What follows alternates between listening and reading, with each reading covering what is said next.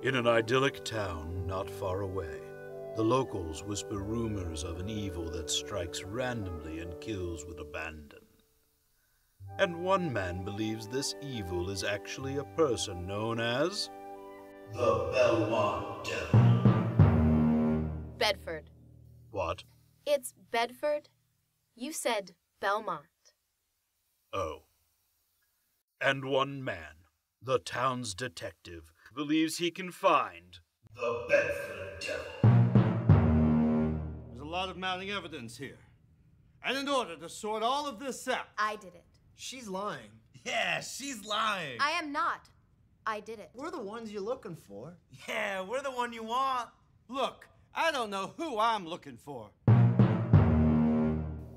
Um, look, this isn't much of a mystery. Uh, let's try this again. One man believes this evil is actually one person, known as the Bedford Devil. Wait a second. Haven't we been through this? Been through what? Didn't you just ask me that? Ask you what? Haven't we been through this? You ever get deja vu? Didn't you just ask me that? Ask you what? Do I ever get deja vu? Didn't I just ask you that? Shut up. They get the point. It's a movie. It's good. You should see it.